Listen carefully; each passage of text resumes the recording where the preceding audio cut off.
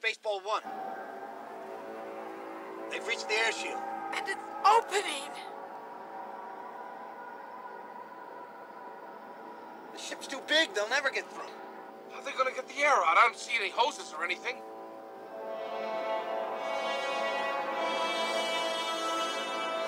What's happening?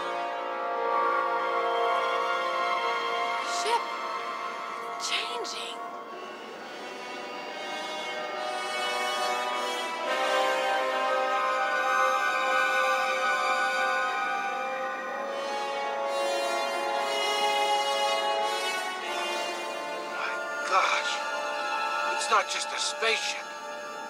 It's a transformer.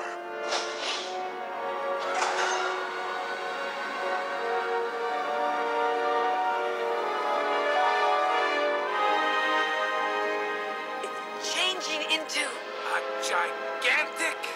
maid. With a vacuum cleaner. So that's how they're gonna get the air out.